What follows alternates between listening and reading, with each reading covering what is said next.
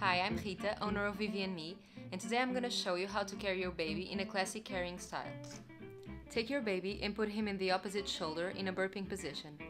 Take the shoulder strap closer to your body and put the baby's leg in. Spread the strap from one knee to the other.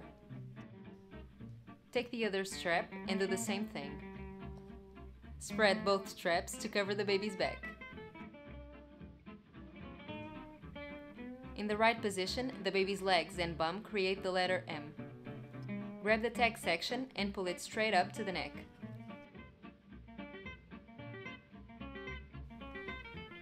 Baby should be in a seated position.